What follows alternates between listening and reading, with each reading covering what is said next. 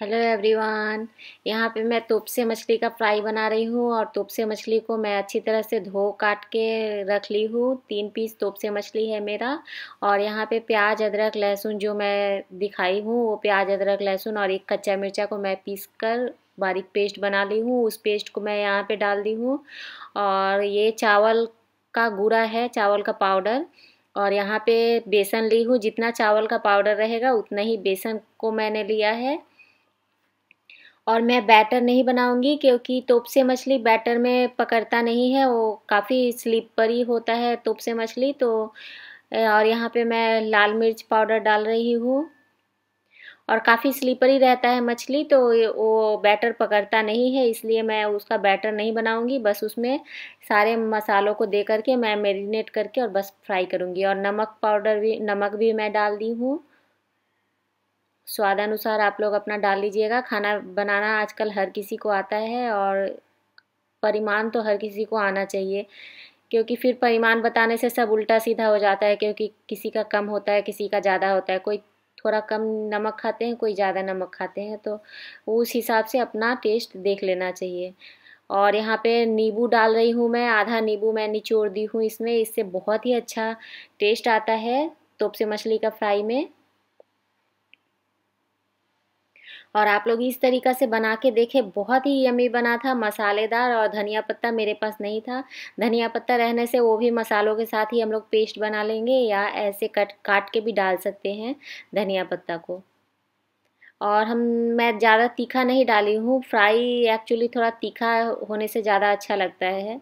और मेरे घर में कोई तीखा नहीं खाता है, इसलिए मैं तीखा नहीं बनाई हूँ। और ये मेरा मसालों के साथ मछली कोट हो गया है, अब मैं इसे फ्राई कर लूँगी। और इसमें ऐसे ही मसाला रहने से मतलब बैटर रहने से ये फ्राई हो पाएगा, नहीं तो बैटर जो भी हम लोग बना के करते हैं तो वो बैटर छोड़ देता है मछली। और मैं दूसरे तरीक़ा से भी बनाती हूँ, वो भी मैं किसी दिन आप लोगों के साथ शेयर करूँगी।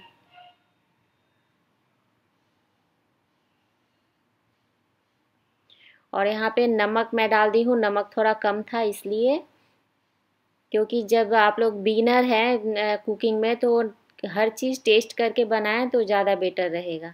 और यहाँ पे तेल मैं गरम कर ली हूँ, ये है सरसों का तेल, और तेल को अच्छी तरह से गरम करने पड़ेगा थोड़ा ज़्यादा परिमाण में, क्योंकि ये मछली पूरा मतलब गोटा गोटा ही रहता है, इसलिए तेल ज़्यादा ही लगता है फ्राई करने के लिए। और ऐसे भी कोई भी चीज़ फ्राई करने के लिए ऑयल ज़्यादा ही लगता है। और अब हम लोग फ्राई करना स्टार्ट कर देंगे मछली को। और इस तरह से मछली बनाकर देखें, क्रिस्पी भी बनता है और किसी तरह का कोई झमेला नहीं है। और आप लोग यदि बिस्किट का गुड़ा डालना चाहें तो इस स्टेज में आके बिस्किट का गुड़ा आप लोग डाल सकते हैं। ऐसे बैटर बना करके फिर बिस्किट का गुड़ा में आप लोग कोट कर सकते हैं। तो वो भी एकदम बाहर के जैसा, फ़िश फ्राई के जैसा हो जाएगा। लेकिन मुझे डालना नहीं था बिस्किट का गुड़ा इसलिए मैंने नहीं डाला है। और ये मैं अच्छी तरह से इसको लाल लाल करके फ्राई कर लूँगी। और ये काफ़ी हाई फ्लेम में नहीं होना चाहिए, लो टू मीडियम फ्लेम में होना चाहिए फ्राई, क्योंकि मछली हमारा कच्चा है।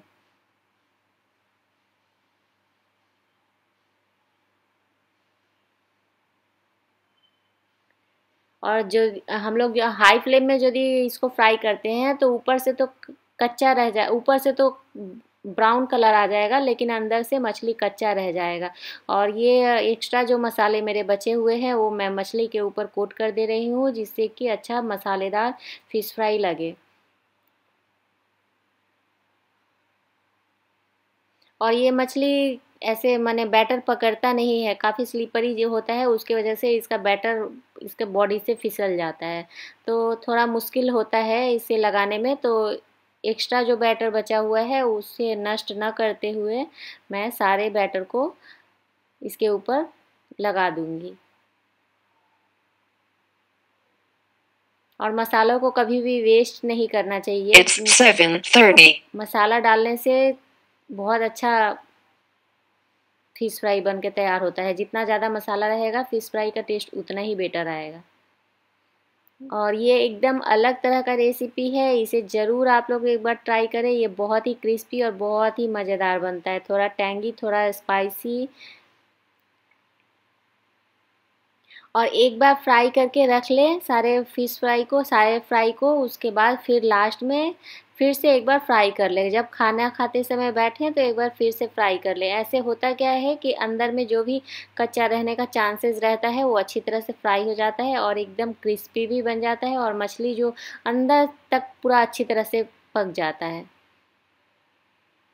तो जब भी आप लोग खाना बनाएँ, एक बार फ्राई करके रख ले। फिर जब खाना खाने बैठे तो फिर से उसे एक बार ऑयल में गर्म कर ले। तो इससे होता क्या है, हम लोग जनरली ऐसा सोचते हैं, यहाँ पे मेरा मछली बन के तैयार हो गया है। okay bye friends.